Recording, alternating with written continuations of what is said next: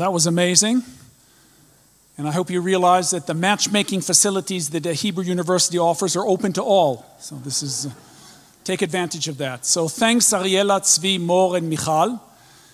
And now to the next topic. So how did Hippocrates and Aristotle think about the human body?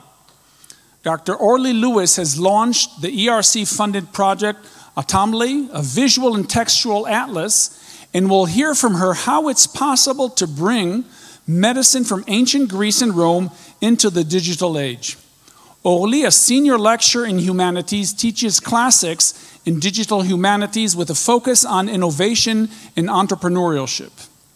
We will then enjoy a quick Huji Bite, a short film featuring PhD student Shani Vaknin, who is straddling life sciences and brain sciences to work towards a cure for brain disorders. And our final speaker tonight is using the training she received at our Global International Development Program to address the global crisis most salient in our minds and headlines for the past few months. Alumna Michal Bar, head of IsraAID's Emergency Programming and Operations Department, will share her thoughts about her experience on the Ukraine border. Please.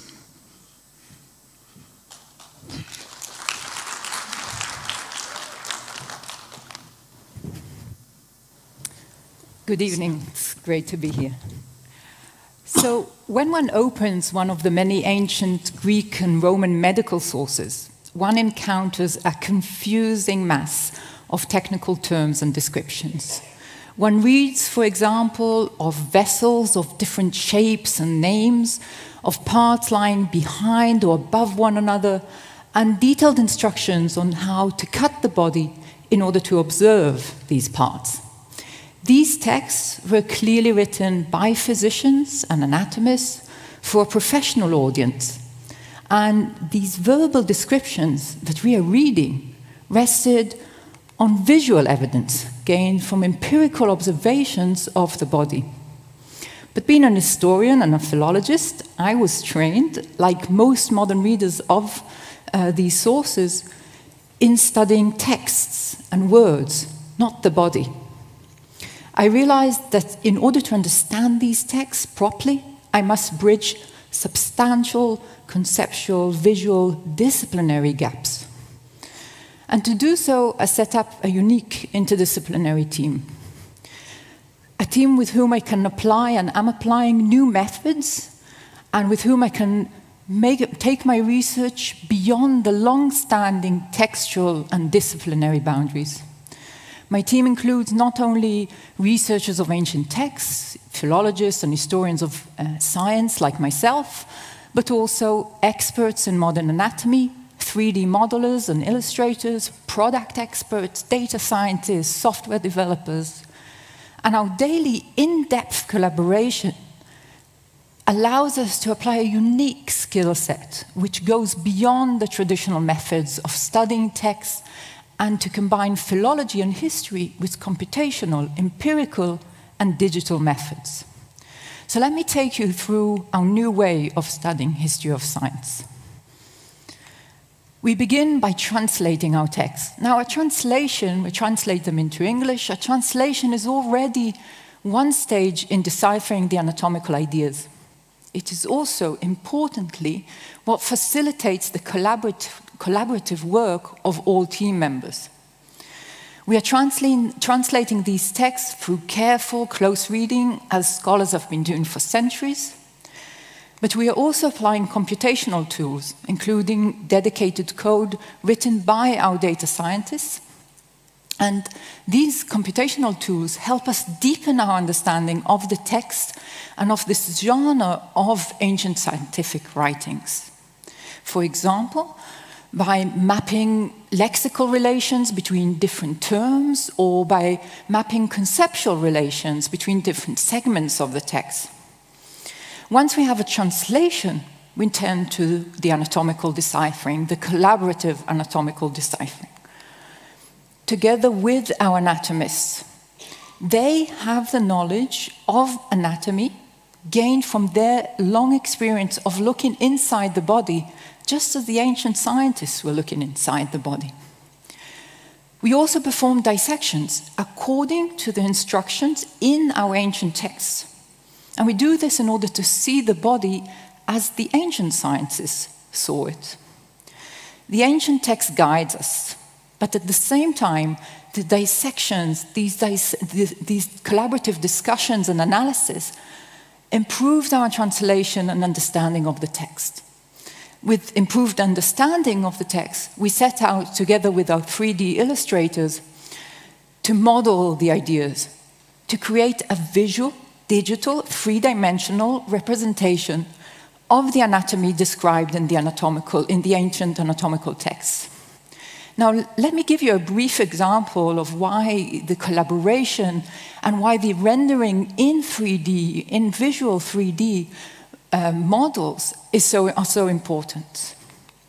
So what you see here is a quote from a medical work written two and a half thousand years ago. And the author tells us that the brain of humans is double and that a thin membrane separates it in the middle. This anatomical point that he stresses is crucial for our author's attempt to prove that malfunction in the brain is the cause of epilepsy. But for me, or for anyone with my traditional disciplinary skill set, this is a fairly vague detail.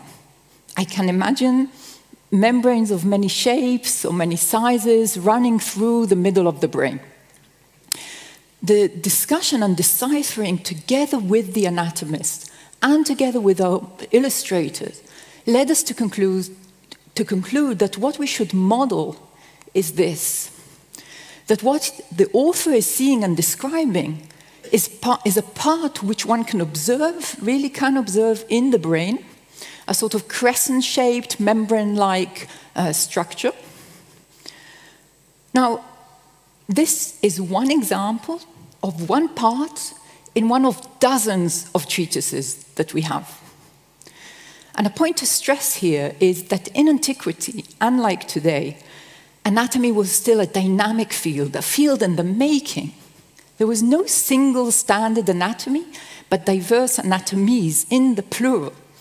Each author had his own set of ideas of the structure of the body and its parts, and his own terminology, terminology to express it. So we have many anatomies to decipher and many models to create. But it is not enough to simply create models. It was clear to me that these models need to be made accessible to researchers. And they need to be made accessible to them in a transparent manner, suitable to their scholarly needs, suitable, for instance, to the questions they are asking or to their need to know the textual basis of our interpretive decisions leading to this model. And it is to this end that we have developed Atlomy, an interactive atlas of ancient anatomy. So let me show you a quick demo of the first version of this, of this open access viewing and research platform and what anyone, including you, can do with it. So what you see here is a model of the respiratory system according to Aristotle in the 4th century BC. You can turn it around, see it as you would be looking at the body from any direction. You can see the name of the part in Greek and its translation. You can fade a part to look deeper into the next layers. Or you can hide the part entirely to really delve deeper and explore. If you click on a part, you'll see a short summary which explains to you the, the meaning of the term, its history. And you can click to go further and get further details and an extensive historical lexical discussion of the term. And you can also see a list of references which are so important for our researchers and for our users. You can search for a term in English or in ancient Greek. We'll suggest what we think you might be looking for. And once you click on a term and search for it, you'll see results. Results in the 3D models, which include this part, uh, lexical terms, which include it. You can filter, you can sort according to the author, the period, the anatomical system. And of course, from this page, you can go further back to the, a model or back into the lexical historical discussion. The range of viewing and study tools that I just showed you are the result of another important part in the work of my team, in the work of my team, the product thinking. This is a concept which is fairly alien to academic research, certainly in the humanities, but a crucial one.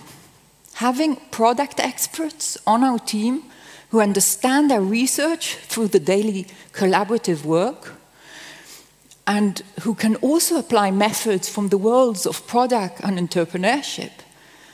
This is what allows us to understand the needs of researchers, the needs of other users, and it's what allowing us to design and tailor the interface according to these needs.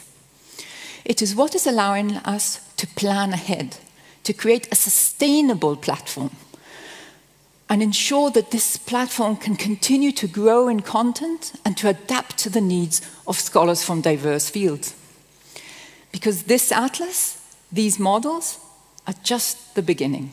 It's a massive, but still an initial step to advance research, to advance the way we are doing research.